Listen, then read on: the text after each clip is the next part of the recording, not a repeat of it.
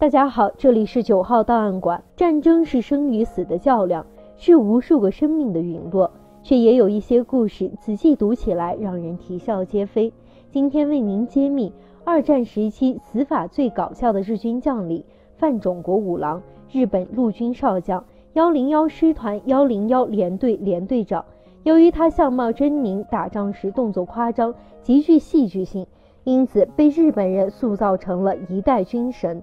一九三八年武汉会战时，范种国五郎作为大队长，带领军队在庐山东姑岭战斗。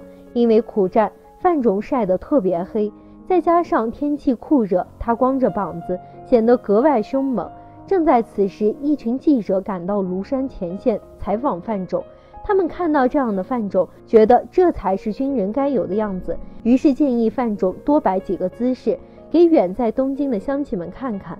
在几个记者的吹捧下，范总有点忘乎所以，亲自带着记者们来到前沿阵地拍摄，而他自己则赤裸上身，头戴钢盔，手拿指挥刀，一个劲的上蹿下跳。但是范总似乎忘了一件事，当时日军钢盔的涂漆有些问题。而华中正是炎热季节，长期暴晒，偶尔又是一场大雨，使用久了，钢盔的绿漆就会掉落，而露出的钢底则在阳光下闪闪发光。更要命的是，它的对面就是中国阵地，因此范种的一举一动都在哨兵的视线之内。于是，中国哨兵就发现远处有一个灯泡似的东西在那里上蹿下跳，仔细一看，原来是个小鬼子。但由于当时的汉阳造没有那么远的射程，所以只能在望远镜里看着范种耀武扬威，却拿他一点办法都没有。不过，也许是他命里该死，当时正赶上国军换岗，范种作死的样子很快就被几个眼尖的老兵发现了。